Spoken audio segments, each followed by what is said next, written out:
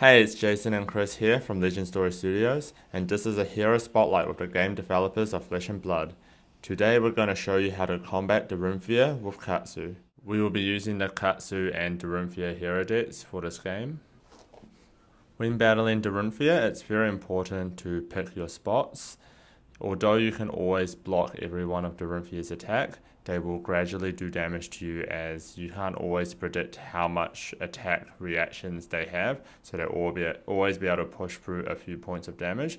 So it's important to keep your life total high and use use a crucial turn to take lots of damage, but reciprocate by dealing massive amounts of damage and put Dorinthea on the back foot. And I will be utilizing blocks and when when I feel the time is right, I'm going to try to unleash a 4 to 5 card hand to really deal some massive amounts of damage in one turn. So Chris wins the die roll playing against the Dorinthea. On the very first turn of the game, we're going to be looking to block with most of our hand. Unfortunately, I started the game with a energy potion. This meant I only had three cards that can be used to block, but I am looking to block Chris's first attack with his weapon. Chris plays a um, Nature's Pilgrimage and then attacks with Dawnblade. At this point, the attack is only for for 6, but since it's the first turn of the game, I want to be blocking with as many cards as I can, so I blocked for 8, leaving the only card that cannot block in my hand. Luckily, luckily for us, Chris did not have any um, pump spells, so we draw back up to 4. Um, when I look, look at this hand, we don't actually have any combos to be playing on this turn, so we want to start with a head jab. The reason we're starting with a head jab here is even though it's only attacking with one, Chris needs to respect it hitting and it warrants a block. As you can see here, Chris blocks with Refraction Bolters straight away, and we're just going to be attacking with weapons. We're going to be attacking with two weapons here and then playing out an energy potion. We set a somersault in our arsenal, which is very important to combat Dorinthea as it does not turn on reprise, as it is not played from our hand.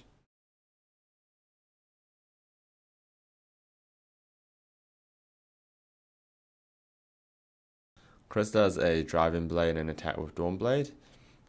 This threatens another attack as well as 6 damage. Looking at my hand, I do not have a very powerful hand, so I want to be looking to block with a lot of cards. We're blocking for 9 here, even though the attack's only for 6.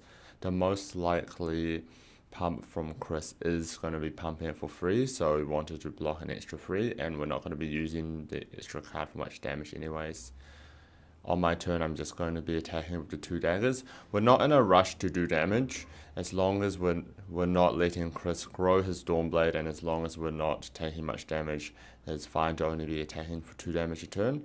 Later on in the game I'll be looking to go for a more explosive turn.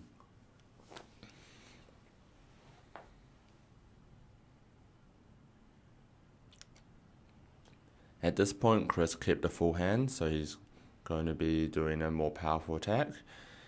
It's important to pay attention to how many cards Chris has at the start of turn, because the more cards he has, the more likely there is going to be a giant pump coming our way. Now at this point I'm just evaluating whether or not I should be defending or I can do a more powerful attack. I choose not to not to block this attack and then Chris will attack again with Dawnblade. At this point I'm just going to be using Somersault from my arsenal to prevent Chris from getting Dawnblade counter but I'll be taking a bunch of life as a result. Now that I've kept a full hand, I'm going to be starting with leg tap, and this warrants a block for 4 from Chris. And then we're going to chain it off to a Surging Strike. The reason that every single attack needs to be blocked by Chris is we're threatening Katsu's hero ability, and that will allow us to search our deck for a more powerful card. At this point, Chris is trying to figure out if he should be blocking the Surging Strike. He chooses not to block the Surging Strike, and we don't use Katsu's hero ability because we already have a Whelming Gustwave in our in our hand, and we're just going to play it straight away. That also warrants a 2 block from Chris. So over, overall we took out 3 cards away from Chris and also did some damage. We did take more damage than he did on his previous turn, but this is where we're going to start trying to swing the tempo The less cards we leave Chris with in his hand, the worse his Dawnblade attack is going to be. So Chris can only attack for free, and unlike previous turns, I do not have to overblock this attack. Chris only has one card in his arsenal, it doesn't have any other cards in his hand, so we know that attack's not going to be very big. So now it's back over to us, and we don't have four cards in hand, nor do we have a hand that can do a lot of things.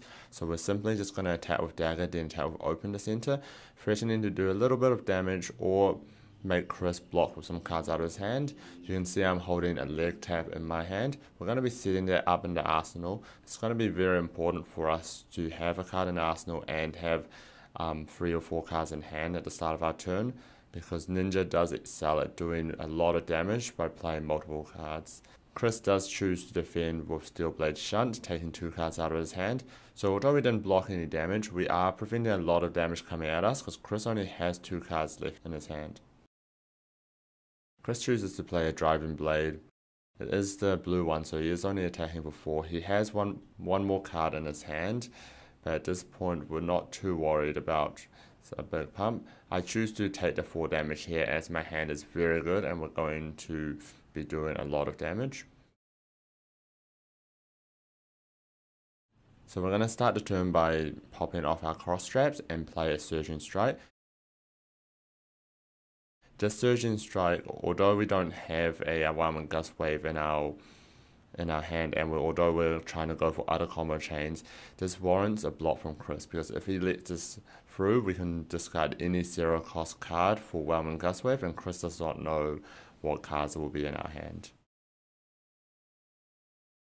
So after much consideration, Chris plays Somersault, which is what we wanted to happen. Now we're going to be looking towards playing Leg Tap out of the arsenal.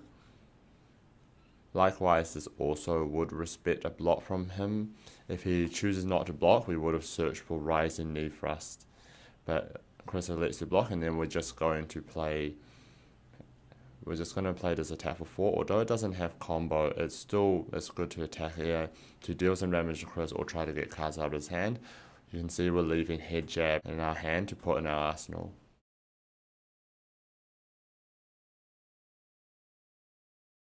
So at, at this turn cycle, Chris has three cards in his hand, which is important to note because we want to kind of have an idea of how big Dawnblade can up to. So Chris is attacking for with Dawnblade for six with one additional card in his hand. So we know like this this can most likely um, go up to nine at most.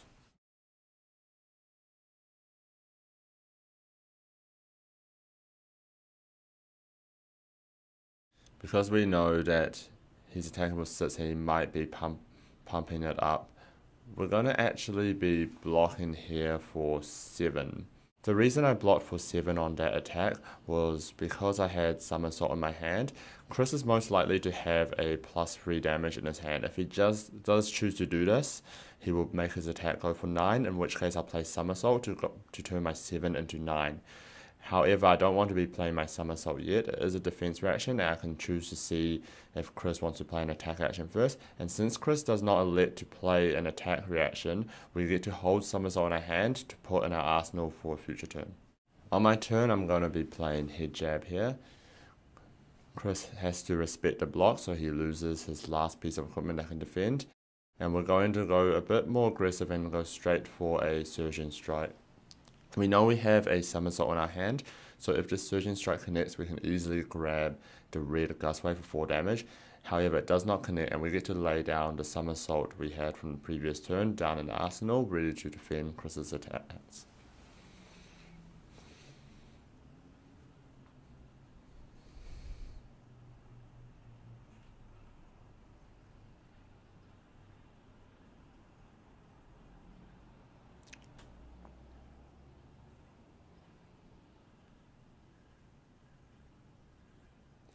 Chris chooses to attack with Dawnblade without playing any action cards before. We know he still has Refraction Bolters, so even if this hits, he does, um, he will let it go again. We choose to play a Somersault just from the arsenal. This means he does not get a reprise ability, but Chris is still choosing to Biting Blade to deal 2 extra damage. However, he is not going to be giving this attack go again, so we only take 2 damage in this exchange. So on my turn I have a 4 card hand and I'm going to start with a dagger tap before playing leg tap. We can see in my hand I have two parts of the leg tap combo and also a head jab that I can discard to get the last part of my combo. So even though we don't have the full combo assembled in our hand, we are threatening it as long as either leg tap or rising knee thrust deals damage to Chris. At this point, Chris's hand is not very good, so he's going to be using Hope Merchant's Hood. Chris wants to use his Hope Merchant Hood now instead of his turn because then he gets full information on whether or not his new hand he wants to defend with or attack with on his next turn.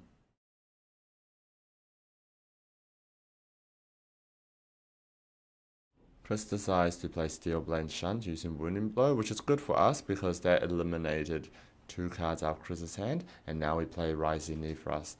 Now Chris has a choice of blocking with the two remaining cards in his hand, allowing us to now set an arsenal, or if he chooses not to block this, we're going to be searching for Blackout Kick to threaten 7 damage. Chris decides to block my attack for exactly 5, at this point I have breaking scales, so that will push over one extra damage. It's very important that Rising Knee Thrust did one damage here because it allows us to discard our remaining card to Katsu. At this point, Chris is defenseless. He has used 4 cards to defend our attacks and we still manage to get damage through. So now we search out for Blackout Kick, which is for 7 damage, and this will do the final points of damage, winning us the game against the Runefear.